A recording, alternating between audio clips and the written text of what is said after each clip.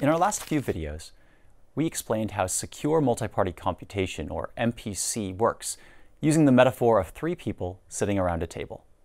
But that's just a metaphor. If you wanted to use MPC in the real world, how would you do it? Well, first of all, instead of finding three friends to help you, you'd have to start by finding three organizations. Each of these organizations would need some computers. These computers would communicate with one another through the internet. In the multiplication video, do you remember the final step?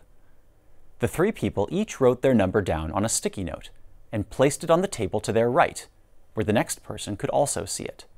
That's an example of communication.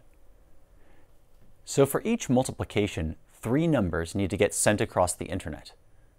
When you're doing millions or billions of multiplications in MPC, you might find yourself sending gigabytes or even terabytes of data around, and that can get expensive. As it turns out, the cost of sending data between data centers is usually the most expensive part of MPC. So when we are designing MPC protocols, we usually try to minimize the number of multiplications, since they require communication. Addition does not require any communication, so we tend to think of addition operations as basically free. Another interesting part of the multiplication video was the part where each of the three people rolled a die to their right. Each random dice roll was visible to two people, and both people needed to use that random number when masking their shares. So how does that part work in the real world? We use what's known as a seeded random number generator. That's a computer program that can generate a bunch of random looking numbers from some starting seed. If you've ever played Minecraft, then you've seen a seeded random number generator in action. Every Minecraft world has a seed, if you send this seed to your friend, they can generate the same random world on their computer too. In a real-world MPC, each pair of two organizations make up a random seed, which they use to generate the same set of random-looking numbers.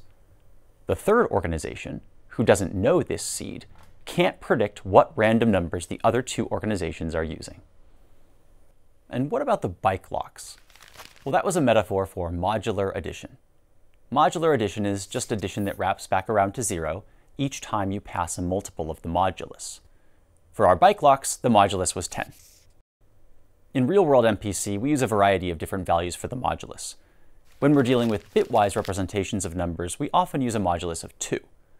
But when we're dealing with big numbers, we usually pick a large prime number that's just a little bit less than a power of 2, like this.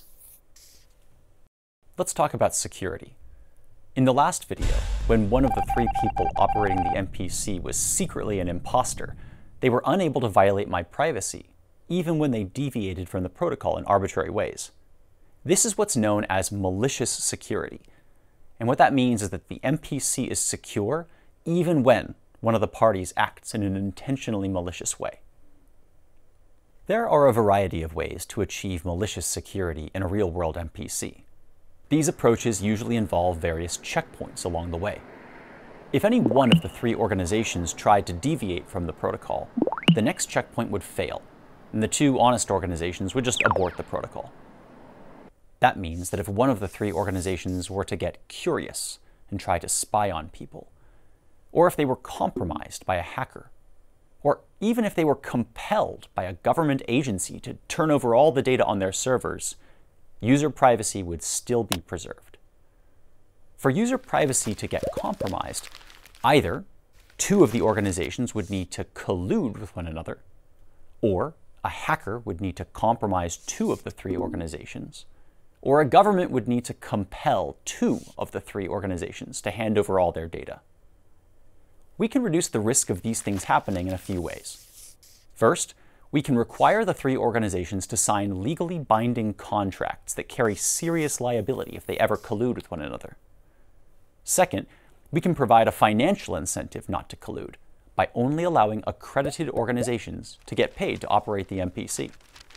That way, losing your accreditation would mean losing out on future earnings. To maintain their accreditation, organizations would need to submit to regular audits that ensure they're following industry best practices like using hardware protection mechanisms, access restrictions, and key rotation.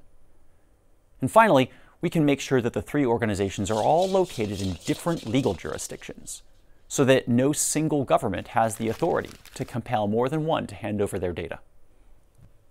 I hope this video makes it clear how our metaphor of three people sitting around a table relates to MPC in the real world, and gives you a better understanding of some of the considerations that we keep in mind when deploying such a system.